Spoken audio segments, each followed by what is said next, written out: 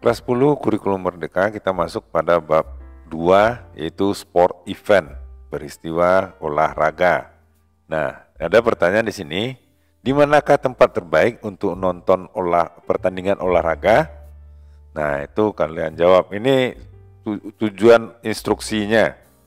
Nah, apa ya setelah kamu mempelajari material-material pada bab ini, kamu diharapkan bisa untuk ya, apa itu? Yang pertama menentukan konteksnya, ide pokok dan informasi detail dari sebuah teks recount yang baik itu oral maupun verbal yang disampaikan pada bentuk uh, dalam bentuk berbagai bentuk tentang peristiwa-peristiwa olahraga. Jadi multimodal ini mungkin bentuknya dalam bentuk teks, bentuk gambar, atau bentuk e, suara bisa itu disebut dengan multimodal. Kemudian mengkomunikasikan ide-ide sederhana, ide-ide dan e, pendapat sederhana dalam berbagai diskusi, aktivitas kolaborasi dan mempresentasikannya secara oral untuk menyampaikan tentang e, peristiwa olahraga.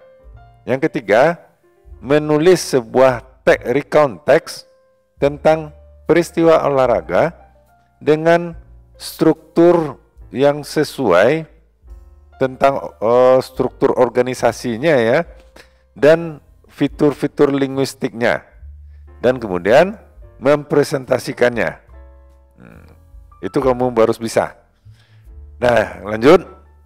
Apakah kamu tahu bahwa personal recount text adalah satu bentuk dari recount text yang menambahkan fakta atau autobiografi, biografi, ke uh, sastra dan uh, cerita historis atau sejarah.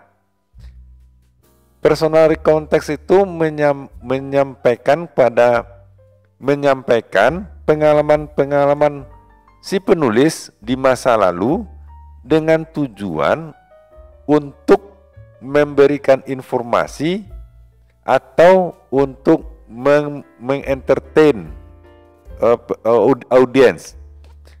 Entertain ini untuk menghibur ya. Personal recontext ini sering terdiri dari orientation, ada series of event, kumpulan peristiwa-peristiwa ya, dan reorientation. Jadi uh, sebagai penutup. Nah, kemudian ini ada pertanyaan yang perlu difikirkan. Yang nomor satu, apakah akibat menonton pertandingan olahraga untuk kesehatan kamu? Itu yang pertama. Yang kedua, apa yang akan kamu, apa pendapat kamu jika seseorang itu menjadi uh, loyal fan, ya? penggemar setia dari sebuah tim atau seorang pemain. Nah, ini tas pertamanya yang A perhatikan dan jawab. Perhatikanlah pada gambar pada gambar dan jawab pertanyaan-pertanyaan berikut. Nah, ini ada dua gambar. Gambar 21 menonton eh, apa namanya? pertandingan olahraga secara langsung dan gambar dua-dua menonton olahraga dari rumah melalui televisi ya. Nah, pertanyaannya adalah nomor satu, apa yang kamu lihat pada gambar ini? Jadi dua gambar ini kan, sampaikan kepada kelas. Ya tentu beri pendapat ya, berdiskusi dalam kelas. Yang nomor dua, apa pendapat kamu jika ada yang eh, menjadi penggemar setia dari sebuah tim olahraga atau seorang dari seorang pemain olahraga.